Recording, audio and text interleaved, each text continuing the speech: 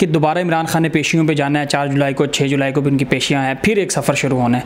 वो इमरान खान का सफ़र कैसा होगा? मुश्किल होंगी तो क्या वो उसमें सेफ़ रहेंगे? उनके ऊपर मुख्तलिफ़ वार भी होने हैं उनकी पार्टी भी टूटनी है लोग भी अभी भी टूट रहे हैं। कि बहुत सारे लोग जिनकी इमरान खान को समझ आ गई हम्म।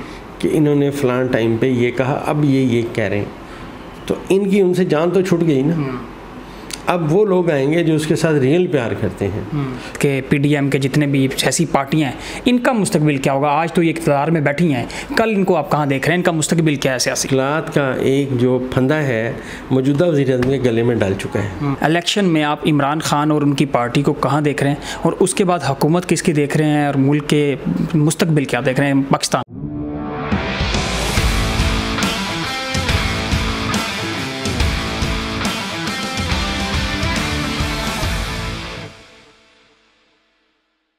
असलम नाजरीन, मैं अदनान याकूब हूँ। डॉक्टर उमर फ़ारूक मारूफ एस्ट्रोलॉजर एक बार फिर हमारे साथ हैं।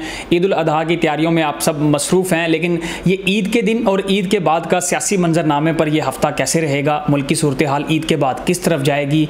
हर शख्स जानना चाहता है। ये भी बातें हो रही हैं कि इमरान खान ईद के बाद एक बड़े क्रैकडाउन का सामना करेंगे मुश्किल बढ़ेंगी। क्या वो महफूज रहेंगे, स्टेबल रहेंगे या पार्टी टूट जाएगी, इलेक्शन में हिस्सा ले सकेंगे, नहीं ले सकेंगे? सारी चीज़ें डॉक्टर उमर फ़ारूक साहब से हम आज आपसे इस मुलाकात में जानेंगे। डॉक्टर साहब सबसे पहले तो आपकी मोहब्बतों का बहुत सारा शुक्रिया कि आप हमें एक्सक्लूसिव टाइम देते हैं और वीवर आपको सुनते हैं। सर ये ईद की तैयारियों में तो सारे मसरूफ़ हैं। ईद में इमरान खान बेसिकली क्या सेफ़ रहेंगे और ईद के बाद कितनी मुश्किल उनके लिए आ सकती हैं और उन मुश्किल में कैसे डटे रहेंगे वो? देखिए मैं आज जो आपसे गुफ्तु का आगाज़ है ना हम्म। उसमें इलामा इकबाल का एक शेर सुनाऊँगा कि नहीं इकबाल ना उम्मीद। अपनी कश्त वेरा से ज़रा नम हो तो ये मट्टी बहुत ज़रखेज़ है साकी। तो इमरान खान साहब जो हैं वो बड़े स्ट्रॉन्ग आदमी हैं। उनके ऊपर इन तमाम हरबों का कोई असर नहीं आना पहली बात। दूसरी बात मैंने अर्ज़ किया था कि जब इन्हें ज़रूरत पड़ेगी तो वो बहुत सारे लोग इनकी हेल्प के लिए आएँगे। तो अभी तो इनका जो जायचा है वो ये ठीक है कि मैं समझता हूँ कि जुलाई में एक मुश्किल वक्त आना है जो इस दुनिया में हर बंदे ने वो मुश्किल वक्त फेस करना है वो 11 जुलाई से ऑनवर्ड रहेगा। हम्म। और लेकिन ये मैं आपको बात बता दूँ कि बहुत सारे लोग उसके शिकंजे में आएँगे। अगर आप कहें कि आप आएँगे और मैं नहीं आऊँगा ये बात भी गलत है। मेरे लिए भी वो मुश्किल वक्त है आपके लिए भी वो मुश्किल हम्म। वक्त है। ठीक है ना जी?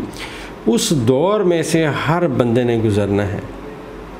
Exactly. हाँ तो ये जो वक्त है 11 जुलाई से ऑनवर्ड ये हर बंदे के लिए मुश्किल का वक्त है। तो इसकी कोई डेडलाइन है? 11 जुलाई के बाद ऑनवर्ड कब तक ये मुश्किल हालात रहेंगे? हाँ जी ये जो मुश्किल हालात हैं ये मेरे ख्याल में इसमें जो नहस तरीन वक्त है वो 19 जुलाई तक तो बहुत ज़्यादा नहस वक्त है 11 जुलाई से 19 जुलाई तक। उसके बाद आहिस्ता आहिस्ता मतलब तूफ़ान की शिद्दत में कमी आएगी लेकिन आपको पता है जब तूफ़ान आके चला जाता है उसके बाद आप कैलकुलेट कर सकते हैं कितना नुकसान हुआ। अभी नहीं आप बता सकते। अभी तो आप तूफ़ान की प्रडिक्शन हम कर रहे हैं कि मुश्किल वक्त है लोगों को चाहिए कि मोहतात रहें और ख़ास कर ये जो गैर ज़रूरी लोग सफ़र करते हैं और मैं ये भी बताता चलूँ कि जो समुद्री सफ़र गैर ज़रूरी करेंगे हम्म। ग्यारह जुलाई से ऑनवर्ड ये इनके लिए भी मुश्किल वक्त आएगा। डॉक्टर साहब, ये जो ईद के दिन हैं, तीन दिन ईद के हैं और उसके बाद तो छुट्टियाँ हैं, ये पाँच दिन इमरान खान और उनके जो तहरीक इंसाफ के बाकी फॉलोअर और रहनमा हैं, जिनके ऊपर क्रैकडाउन चल रहा है, गिरफ्तारियाँ हैं, ईद पे भी वो लोग जेलों में हैं, उनके लिए ये दिन कैसे रहेंगे? आपके पास तो जायचा इमरान खान साहब का। जी जी जी, मेरे ख्याल में कोई इतनी बड़ी बात नहीं है मुश्किल ज़रूर हैं, लेकिन अभी भी जो एक ब्रीदिंग स्पेस है, वो मौजूद है। और एक बात और बताता चलूँ कि ये जो मैंने अर्ज़ किया कि मुश्किल वक्त आएगा ये सिर्फ़ आप ऐसे समझिए कि वो बंदा जिसने मुल्तान में रहता है जिसको गर्मी झीलने की आदत है हम्म। और अगर मरी में रहने वाला बंदा यहाँ आके रहेगा तो आप सोचें उसका क्या हाल होगा exactly. तो इस तरह जो सूरत हाल है मतलब यहाँ इमरान खान की वो उसी बंदे की है जो गर्मी झीलने का आदि है हम्म। और ये जो मौजूदा हुक्मरान है ये मरी वाले सरकार हैं हम्म। जैसे अब दुबई में बैठे हुए हैं और ये कर रहे हैं बातें। मौजूदा हुक्मरानों पे मैंने आपसे आना है लेकिन एक बात मैं और जानना चाहूँगा कि मंडे के बाद सोमवार के बाद क्योंकि आप तो हमें कभी कभी मिलते हैं इसलिए मैं ये जानना चाह रहा हूँ कि दोबारा इमरान खान ने पेशियों पे जाना है चार जुलाई को छः जुलाई को भी उनकी पेशियाँ हैं फिर एक सफ़र शुरू होना है। वो इमरान खान का सफ़र कैसा होगा? मुश्किल होंगी तो क्या वो उसमें सेफ़ रहेंगे? उनके ऊपर मुख्तलिफ़ वार भी होने हैं उनकी पार्टी भी टूटनी है लोग भी अभी भी टूट रहे हैं। देखें जी एक बात मैं आपको बताऊँ जो हम करेंगे जायचा पैदाइश की बात। हम्म। अब ये मुश्किल तो उनके लिए आएँगी मैं मानता हूँ उसकी एक दलील है ज़्यादा बातें नहीं करनी चाहिए कम बातें करनी चाहिए।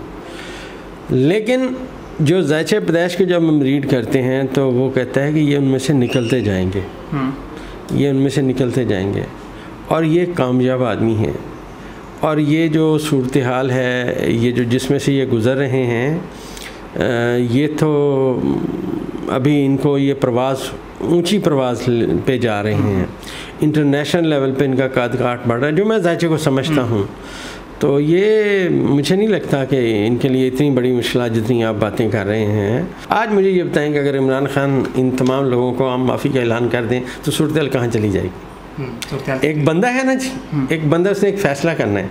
वो कहता है यार मैं सबको माफ़ करता हूँ जिसने जो कहा मैं उसे तह दिल से माफ़ अब बताएँ सूरत क्या होगी? चेंज हो जाएगी? बदल जाएगी। इतनी सी बात है। लोगों को बात समझ नहीं आ रही।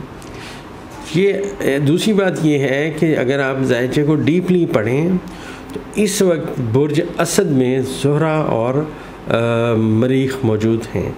हम्म। अच्छा अभी ये तारत भी यहाँ आ जाएगा थोड़े अरसे में। ये जो सूरत हाल है असल में जब ये रास जहाँ पे एक ग्रहण लगता है जायचे में याद रखें एक नुकात ग्रहण है। तो वो जो नुकात ग्रहण को जब स्टार्स अपने मूव होके आगे जाते हैं ना तो जो ही वो मूव होके आगे जाते हैं सूरत हाल चेंज हो जाती है अब इमरान खान साहब का जायचा पाँच जून को इनके इनका जो सतारा मुश्तरी है हाँ। जिसके मातहत मैं इनको रीड करता हूँ उसने नया जन्म लिया है अब हुआ क्या हुआ ये कि बहुत सारे लोग जिनकी इमरान खान को समझ आ गई हाँ। कि इन्होंने फ़लान टाइम पे ये कहा अब ये ये कह रहे हैं तो इनकी उनसे जान तो छूट गई ना। हाँ। अब वो लोग आएँगे जो उसके साथ रियल प्यार करते हैं। और मैं यहाँ एक बात और बताता चलूँ कि इलामा इकबाल का एक शेर और है जो हमने बचपन में याद करते किया था। तो आज हमें उसकी समझ आ रही है कि तुम दिए बाद मुखालिफ से न घबराए उकाब ये जो चलती है तुझे ऊँचा उड़ाने के लिए। और यहाँ पे जो ख़वातीन कैद हैं उनमें से एक का मैंने जायचा बनाया है। उनके किसी अज़ीज़ ने रबता किया था। तो मैं ये समझता हूँ कि जो मैंने अर्ज़ की थी बात माजी में इस हालात से बहुत पहले हम्म। कि वो लोग जो 1976 से लेके 82 के दरमियान पैदा हुए हम्म। अब उनके अरूज का वक्त आएगा तो वो ख़तून उसी वक्त में पैदा हुई हैं अगर उन्हें सियासत में यह टिकट इमरान खान ने दे दिया हम्म। तो आज मैं प्रडिक्शन कर रहा हूँ कि वो वज़ीर वज़ीर बनेंगी कम अज़ कम। ये मेरी कम अज़ कम प्रडिक्शन है। डॉक्टर साहब आपकी चूँकि काफ़ी सारी चीज़ें हम देख रहे हैं कि रियल होती हुई है आपने कहा कि तब्दीली का जो हल है वो बड़ा गहरा अभी देख रहे चल रहे हैं। मौजूदा जो सियासतदान हैं जो इस वक्त के पी डी एम के जितने भी ऐसी पार्टियाँ हैं इनका मुस्तबिल क्या होगा? आज तो ये इकतदार में बैठी हैं। कल इनको आप कहाँ देख रहे हैं? इनका मुस्तबिल क्या है सियासी? देखिए जी मांगे कि जन्नत से दौलत का अजाब अच्छा। हम्म। अब ये मांग तांग के इन्होंने इकट्ठे तो कर लिए हैं। कल को तो फ़र्द वाहद इमरान खान है जिसके ख़िलाफ़ ये इलेक्शन लड़ेंगे। हम्म। क्या ये इकट्ठे होकर इलेक्शन लड़ सकेंगे? अभी लड़ाइयाँ शुरू हो गई अभी लड़ाइयाँ इनकी शुरू हो गई हैं। दरअसल ये मैंने अर्ज़ किया कि नकात ग्रहण जब चेंज होंगे तो सूरत हाल चेंज हो जाएगी। ये तितर बितर हो जाएँगे। अभी भी इनको समझ नहीं आ रही हम करें क्या। हम्म। ये दुबई छोड़ें ये जहाँ मर्ज़ी जाके बैठ जाएँ। हम्म। वो उससे क्या चीज़ चेंज होगी मुझे तो ये समझ नहीं आती। क्या पाकिस्तान के वोटर चेंज हो जाएँगे? और ये जो इनकी ये जो सारी बातें हैं ना ये इनको उल्टा जोहल जो है ना सैटरन वो रिवर्स हो चुका है। जायचे में जोहल रिवर्स हो चुका है। तो आप ये समझिए कि मुश्किल का एक जो फंदा है मौजूदा वजी के गले में डाल चुका है। हम्म। अब वो सूरत हाल इन इनसे बर्दाश्त से बाहर होगी। जब मैंने अर्ज़ किया कि 11 जुलाई से मरीख मध्य मुकाबल आएगा जोहल के तो इनकी बर्दाश्त से बाहर बातें हो जाएँगी। तो आज ये जो सारी पार्टियाँ मिलकर जो कार्रवाइयाँ कर रही हैं इकतदार के उस सब कुछ में जैसे आज पीपल्स पार्टी उन्होंने लेकर लड़ाइयाँ शुरू हो गई हैं वार शुरू हो गए क्योंकि इलेक्शन में उन्होंने इकट्ठे लड़ना नहीं है। तो जब इलेक्शन हो जाएँगे तो इनके खिलाफ यही कार्रवाइयाँ होंगी? ये रिवर्स होगा जो ये कर रहे हैं सब कुछ? जी जी जी ये तो बिल्कुल रिवर्स होना है। ये जो कर रहे हैं इनको भुगतना पड़ेगा। हम्म। अभी तो आप समझिए कि इनकी एक मूवी बन रही है वो मूवी अभी चलेगी हम्म। अल्लाह करे इलेक्शंस हो जाएँ नज़र आ रहे हैं जैसे अब हालात उस तरफ़ जा रहे हैं हम्म। और तो जो उस वक्त जो इनकी मूवी चलेगी वो आप देखिएगा क्या होती है ये जिसने जो किया दूसरा बंदा उसके ख़िलाफ़ सबूत इकट्ठे कर रहा हैं इसलिए शायद हालात अक्सर अब बदलना शुरू हो गए क्योंकि जुलाई का आखिरी महीना डॉक्टर साहब अगस्त में असम्बलियाँ तहलील होनी है उसके बाद निगरान हुकूमत का सेटअप आना है। निगरान हुकूमत के सेटअप को आप लंबा चलता हुआ देख रहे हैं? कोई साल दो साल छः महीने? देखें जी मैं आपसे अर्ज़ करूँ मैंने बड़ा इस पर वर्क किया है जायचे पे क्योंकि मैं आस्ट्रोलॉजिस्ट हूँ मैं हालात हाजरा पे बात नहीं कर सकता। हम्म। मैं तो वही बात करूँगा जो अंदाज़ा मेरा सितारों को मैं मिला जुला के पढ़ूँगा। हम्म। तो मैं ये समझता हूँ कि ये तो मैं नहीं कह सकता कि निगरान हुकूमत आगे चलेगी। मुझे नहीं लगता कि ऐसा कोई सेटअप आएगा क्योंकि अगर साबत बरूज में सितारे इकट्ठे होना हम्म। फिर हम कहेंगे कि एज इट इज़ सूरत हाल चलेगी। यहाँ पे तो मुनकले भी नहीं बल्कि जोजिस्तान बुर्ज में सितारे मुखालफ हो रहे हैं। तो नहीं चलेगी ये। मुझे नहीं लगता कि निगरान हुकूमत जितना आप लंबा कह रहे हैं उतना लंबा चलेगी। अच्छा आ, आज का सियासी आखिरी सवाल ई अगर इलेक्शन हो जाते हैं। इलेक्शन में आप इमरान खान और उनकी पार्टी को कहाँ देख रहे हैं? और उसके बाद हुकूमत किसकी देख रहे हैं और मुल्क के मुस्तबिल क्या देख रहे हैं पाकिस्तान का? देखिए मैं अर्ज़ करता हूँ पार्टी का जायचा मेरे पास नहीं है। हम्म। लिहाजा मेरी उसके बाद राय भी नहीं है। हम्म। मेरे पास इमरान खान साहब का जायचा पैदाइश है। हम्म। मेरे ख्याल में वही पार्टी हैं। ठीक है ना जी? वो जो परिंदा है, हुमा जिसे बोलते हैं कि सर पे बैठ जाए तो बादशाह बन जाता है। तो मेरी कैलकुलेशन में वो जो हुमा है, वो बाई बर्थ इमरान खान के सर पे बैठा हुआ। तो ये पार्ट यही अपनी पार्टियाँ हैं, यही आगे जाते हुए नज़र आ रहे हैं, और इनके सामने कोई रुकावट नहीं है अनलेस वो जो मैंने अर्ज़ किया कि जैचे में जहल और मरीख की नहस नज़रात होनी है, ये टाइम बड़ा टफ़ है। दुनिया में हर बंदे पे टफ़ है। तो इसलिए मैं अभी कोई पक्की बात नहीं कर सकता। ता वक्त है कि ये वक्त गुजर ना जाए।